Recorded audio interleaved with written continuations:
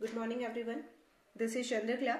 As we have done some notes in the starting of the chapter, similarly we have some important topics.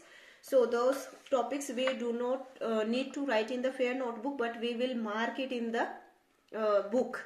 During exam we will learn it. You see on page number 99. On page number 99, we have one paragraph for addition. Remember, properties of addition of fraction. This full paragraph we have to learn during the exam. Similarly, on page number 101, we have one remember paragraph at last. You see properties of subtraction of the fraction. This also uh, we have to learn during the exam. Then on page number 104, we have some properties of multiplication.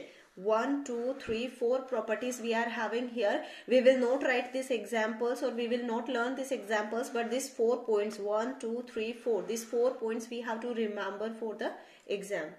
Similarly, on page number 110 also we have uh, division properties of fraction.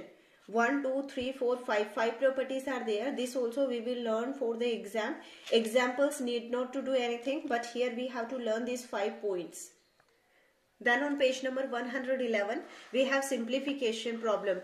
This simplification will be solved according to BODMAS. This we have already discussed in the previous exercise and here questions are not given based on this. So you have to do this pay, uh, example 50 this you have to do in your fair notebook. And these two parts try this. These three questions of simplification you have to do in your fair notebook. Therefore now we have done uh, the properties of addition, properties of subtraction, properties of multiplication, properties of division.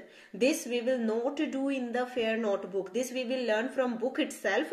But this simplification, here we have three questions. One this example and both these questions. This we will do in the fair notebook. Now the next is revision exercise. Revision exercise you will solve by yourself because all the questions we have already done in the previous exercises. Thank you.